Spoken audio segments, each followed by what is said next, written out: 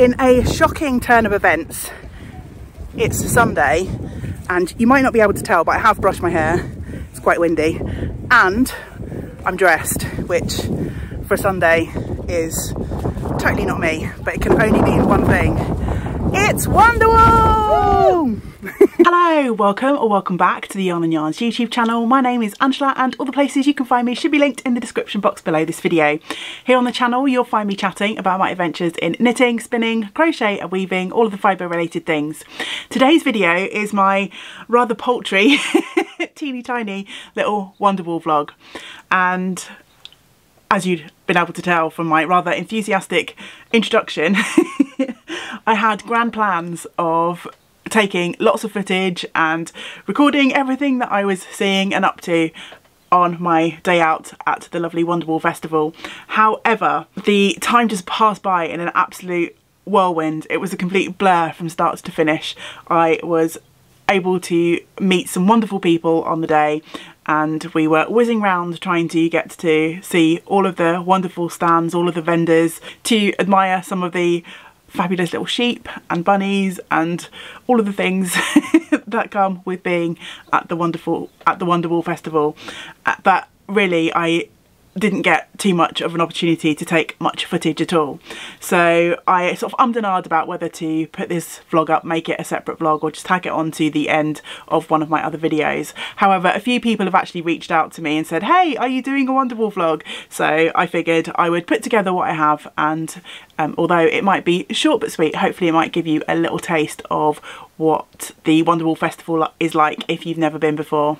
In this little vlog I will share with you all of the footage that I took at the show itself and then I shall come back at the end and share with you some of the things that I purchased. So let's get on with the actual Wonderwool footage shall we? I want to say a big thank you to my lovely friend Lisa who so kindly chauffeured me to the show. It's such a lovely drive from here in South Wales to Builth Wells where the show is held at the um, agricultural showground there. Just under a two hour drive I think from here and we were chatting all the way and so apologies to Lisa thank and thank you for putting up with all of my babble on the day. it was an absolutely glorious sunshiny day but uh, it was quite windy when we first arrived at the showground too as you might have been able to tell from my intro my hair was blowing all over the place but uh, we spent most of the day inside perusing the stands and meeting lovely people and chatting and just having a nice day.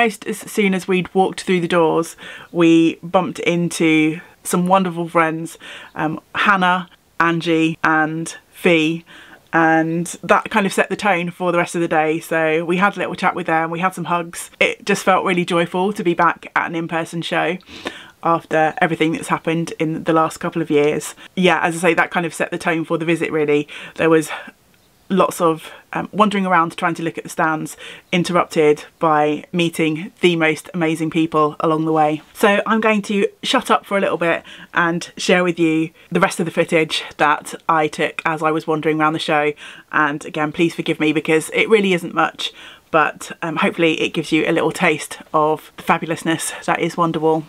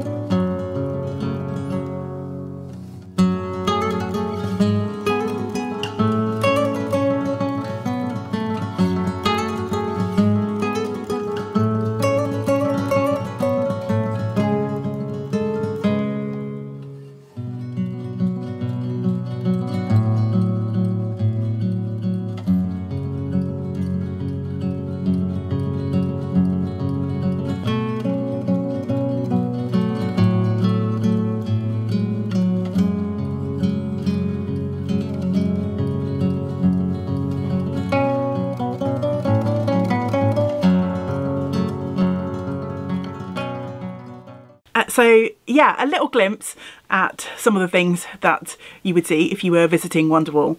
Um, if you want a little bit more, then the lovely Zoe of Pins and Needles has not one but three vlogs up on her channel um, where she shared her experience of vending at the show with her lovely friend Jenny of Owl About Yarn and together they are Cartref Yarn and also the Knit Tea Retreat. And also the lovely Martin of Knit 365 was helping out as a volunteer with Ammonite Yarn who are a local yarn shop uh, here in South Wales. And Martin has a lovely behind the scenes vlog as well up on his channel I'm sure many of you will have already seen those, but if for any reason you don't follow Zoe or Martin, then you can go and check out their channels and I'll link them below for a, a much better look than I have provided here of Wonderwool. As I mentioned at the start, it really felt like such a whirlwind day. Um, no sooner had we arrived than we were leaving and I felt like although we had spent hours wandering around looking at some of the lovely vendors.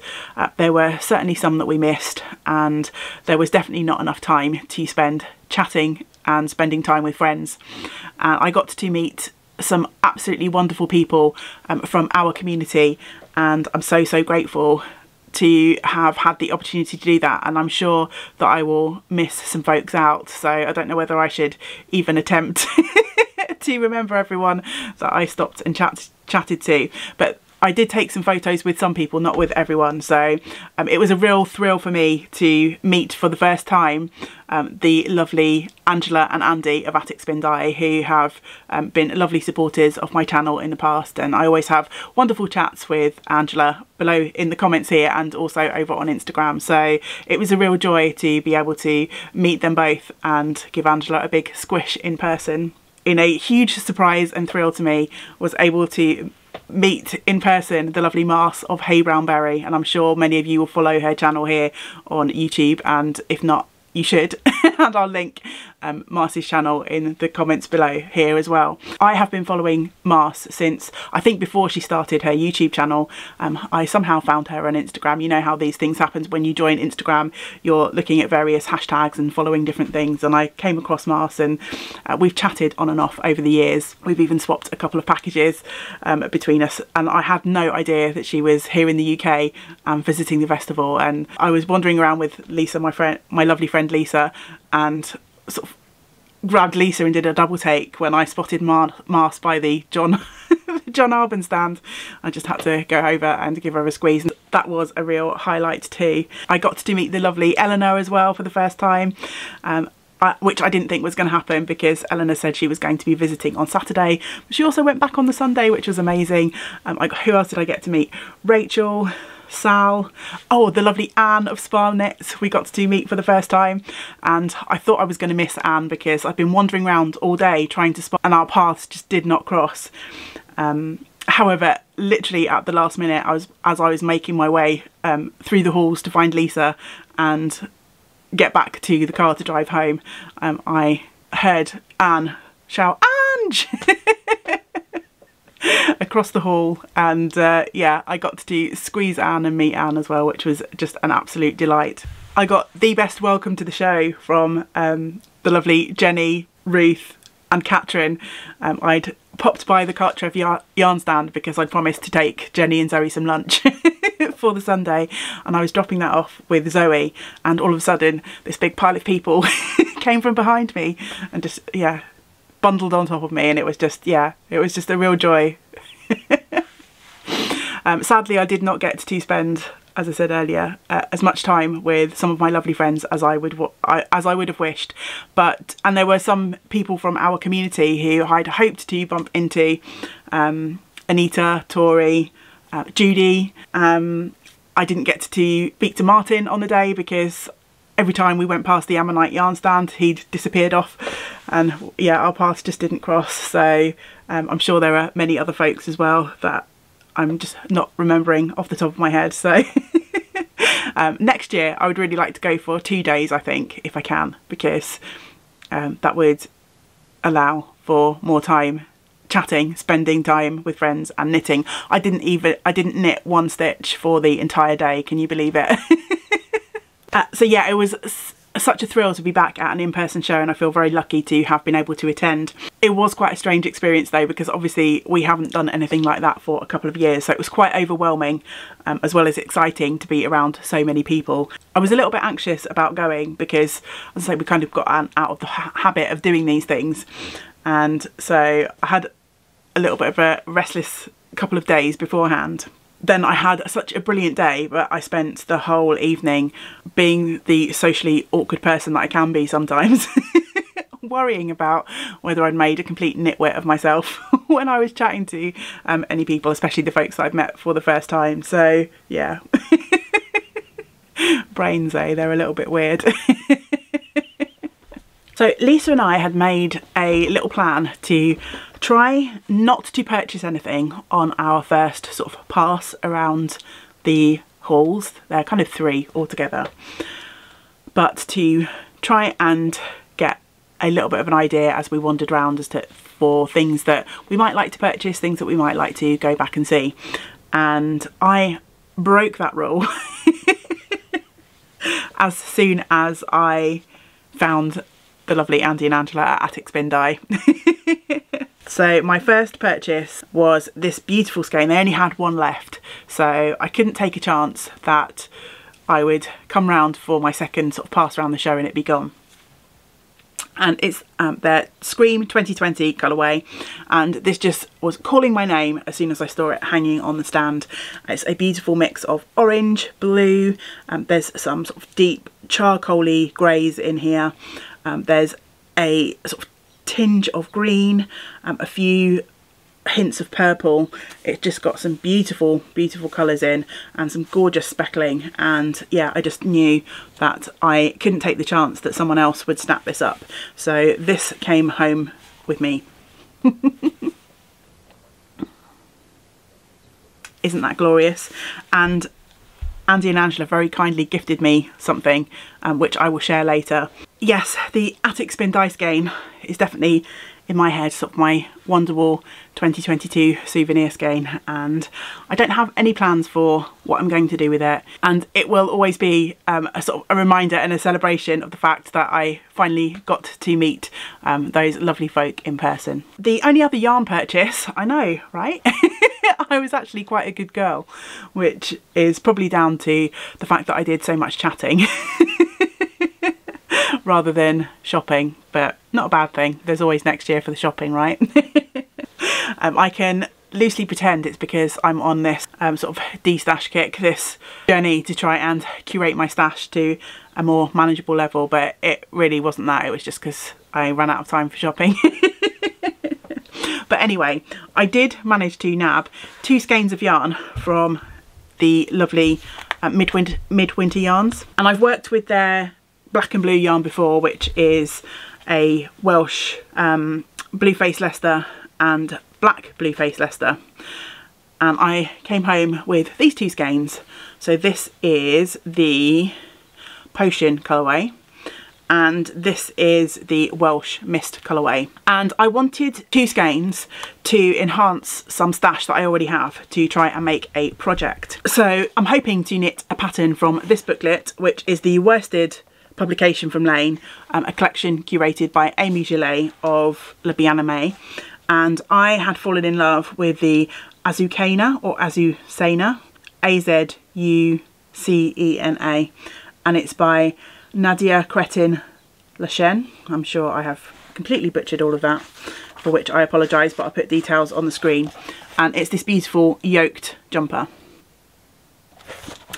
And in my stash already, I had enough of this lovely Scout yarn from Kelbourne Woolens um, in this beautiful charcoal, sort of deep, almost black colour. And so this is going to be my main body of the sweater and I need three colours for the yoke.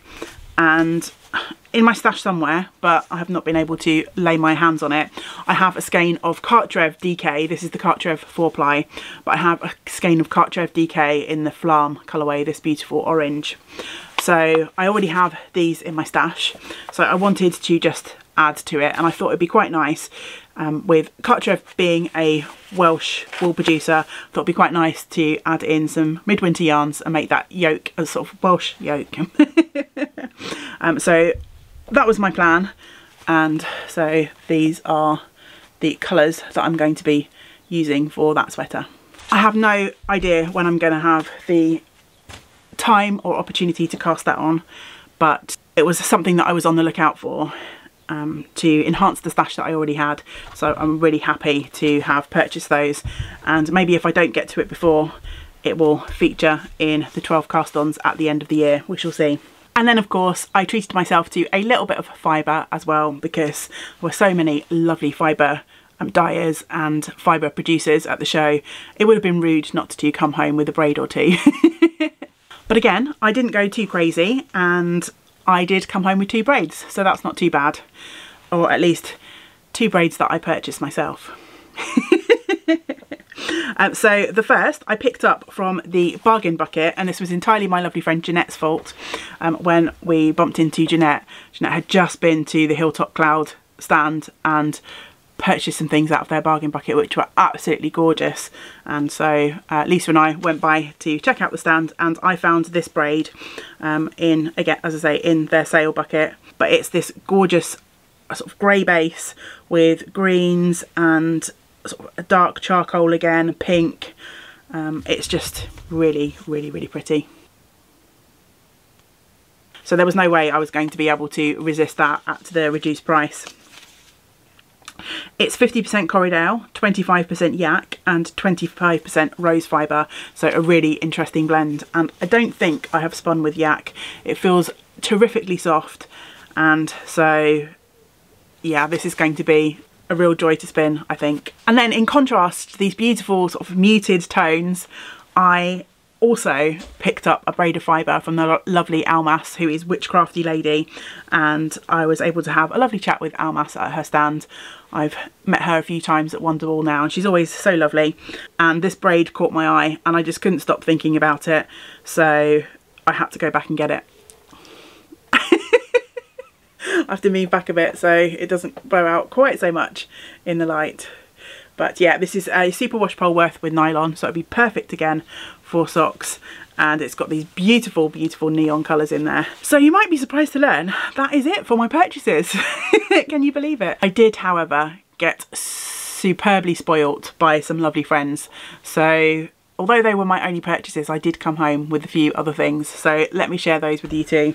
so I already mentioned back at the start what the first um, group of people that we bumped into were um, the lovely Fee, who is Flourish Fibres, um, and Feltaria, um, Angie, Silver Goosegog, and the lovely Hannah, uh, Crafty Little Rat. And Fee was so, so kind and generous and asked if I wanted to rehome a skein of her absolutely stunning handspun art yarn. And of course, I was not going to turn this down. Um, she said that she thought I might be able to use it for weaving. However, I've got a real hankering to try and make a really fun cowl with this. Um, it's just, it's just gorgeous. I'm not very good myself when it comes to spinning art yarn. It's something that I'd like to practice a little bit more of, but this is just, it's just superb. And can't you just imagine all of those beautiful textures in a really fun, fun um, cowl? I can, I can see it in my head. So I hope I have enough yarn to pull that off. But look at this, it's just, ah, it's spectacular. Fee, you are super talented. Your spinning is glorious.